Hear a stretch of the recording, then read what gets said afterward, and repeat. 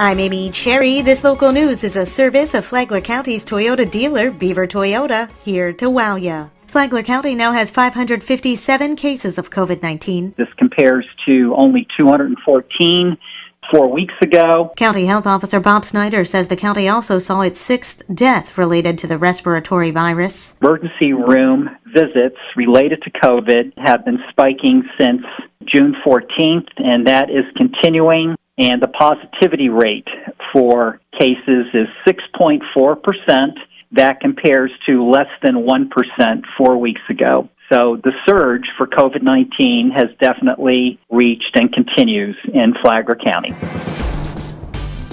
Are students who come back to school on August 10th going to have their temperatures taken as adults do because of coronavirus? While Flagler County Health Director Dr. Stephen Bickle said he's not in favor of it, Superintendent Cathy Mittelstadt said the school district is not doing it either. We've thought through that. I'm just not sure how feasible that is. We have students getting on a bus, and I have a bus driver who needs to focus on that, not so much a temperature check. So, as of right now, that's not going to be our policy. Mittelstadt said that the school district's job is to educate. She said that if something medical happens, there's a partnership with the health department. Mittelstadt said that they would handle the issue. So, listen to the entire interview, download the Flagler radio app, and go to the Free for All Friday podcast. Tomorrow, what are the options for educating kids during the coronavirus pandemic? From the WNZF Newsroom, I'm Rich Carroll.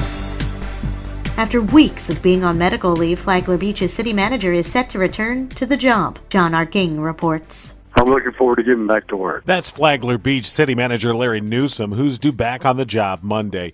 He's been on a combination of vacation and medical leave since mid June. Newsom tells WNZF that the time off was necessary as he was in need of a recharge. But believe it or not, I mean, I, you know, I've been in the workforce since I was out of college, and I missed four or five weeks. And 56 years old, I I guess it was time for my body to tell me that slow down. That's the main thing. You know, I mean, we've been through two hurricanes. We're going through a virus right now, and actually three hurricanes. I mean, if you look at Dorian, and so maybe I just got overworked, overstressed. Newsom says he's trying to learn how to slow down. He says he has a great staff and managers, and he plans to work with them to keep things moving in the right direction.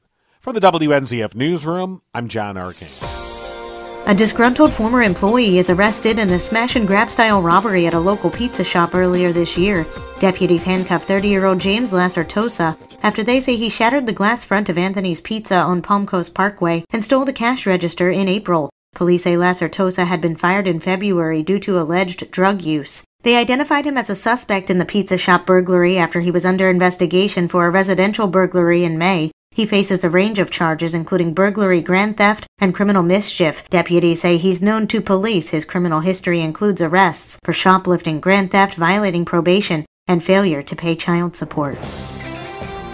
A teen is arrested in connection with a series of car burglaries in Seminole Woods. Tony Magoo has the story. The Flagler County Sheriff's Office Problem Area Crime Enforcement Unit received anonymous information regarding some recent car burglaries. With us this morning for a closer look is Sheriff Rick Staly. In the S section of Palm Coast. In some cases, loaded firearms were also stolen. Our Problem Area Crime Enforcement Team made an arrest of a 16 year old juvenile, charging him with 20 various felonies. That 16 year old was later identified as Dakota D'Angelo Durrani, who was staying at 78 Seven Wonders Trail with an acquaintance, Trey Colburn, who was out wearing an ankle bracelet at the time. Durrani was placed under arrest and charged with multiple counts of armed burglary, grand theft, and possession of narcotics. He was booked into the Sheriff Perry Hall inmate detention facility and turned over to the Department of Juvenile Justice in Daytona Beach. Always lock your car doors and do not leave anything visible. For Flagler's Morning News, I'm Tony Magoo. And now you're up to date on Flagler's Morning News. I'm Amy Cherry.